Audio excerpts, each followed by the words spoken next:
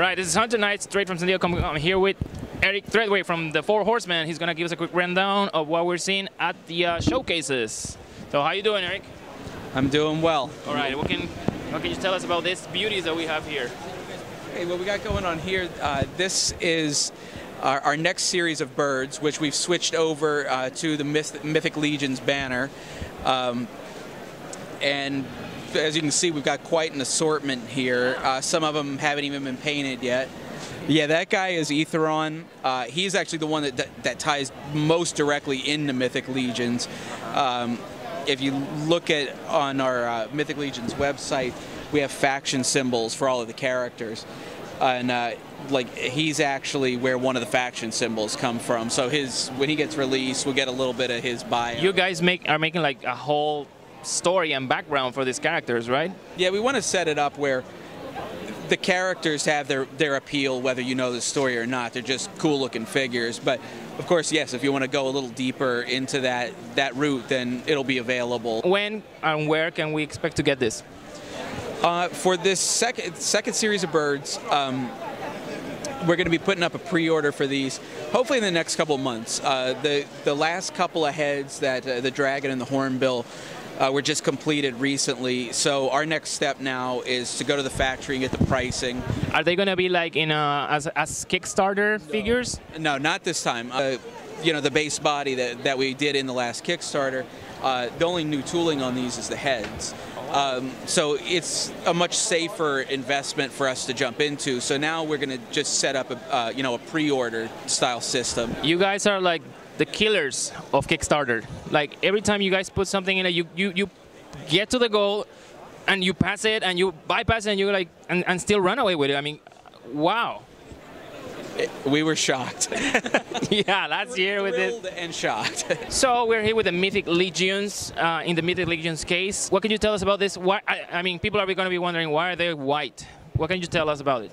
These are, are the first shots, test shots, um, and so this is the this is the first time that we've actually uh, been able to handle these in production PVC uh, with working joints, and they they're very close to what the final toy will be, minus the paint. That's when you guys check like for gaps and what's working and what's not, right? Absolutely. This this is where we get our first shot to troubleshoot.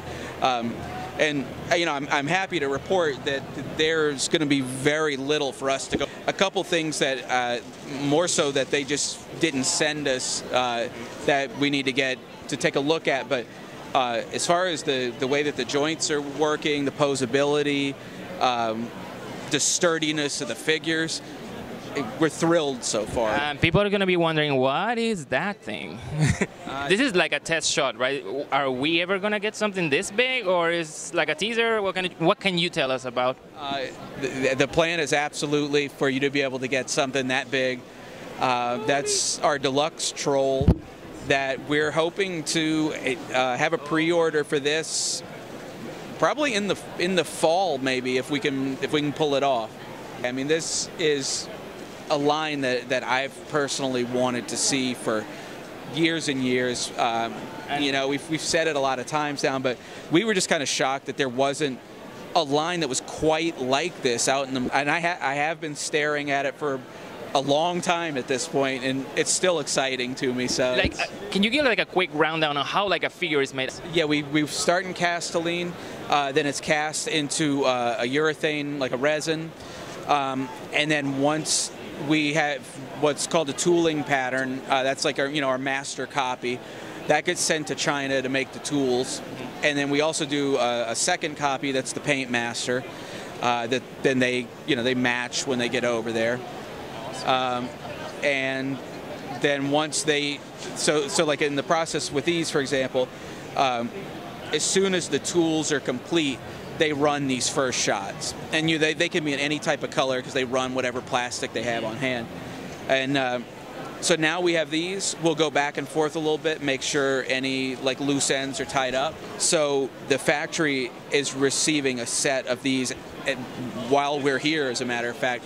And they're doing hand painted samples. They'll match it in, in you know their own production paints because they use a different type of paint. Of course, of course. And then once all of those approvals come together, then it's into production. Wow, amazing. I mean, you guys have like small insight on how toys are made.